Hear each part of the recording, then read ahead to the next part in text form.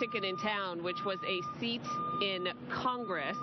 Every member got one, plus they got an extra ticket. That's where people wanted to be. And Emily Riemer spoke with Congressman Seth Moulton about why seeing the Pope's address was so special to his guest.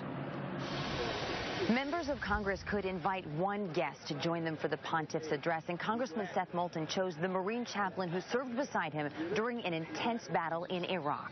Father Shaughnessy was a true hero in the war for me and my Marines, and it's an incredible honor to have him here today. Normally based in Jordan, Father Paul Shaughnessy just happened to be in the United States for this historic address by Pope Francis, honored that the congressman asked him to have this ticket, though quick to deflect the attention. He was a guy running around around under fire. But uh, they were great. I was with the Marines, and you know they're the best. And uh, uh, I certainly loved them all, and they uh, did a great job there. Shaughnessy says seeing a pope address Congress for the first time is something that will always stay with him. And both men praised his bipartisan message, pushing Democrats and Republicans to address some of the significant issues facing the country. He called us to listen to the better angels of our nature, to quote President Lincoln, whom he quoted himself.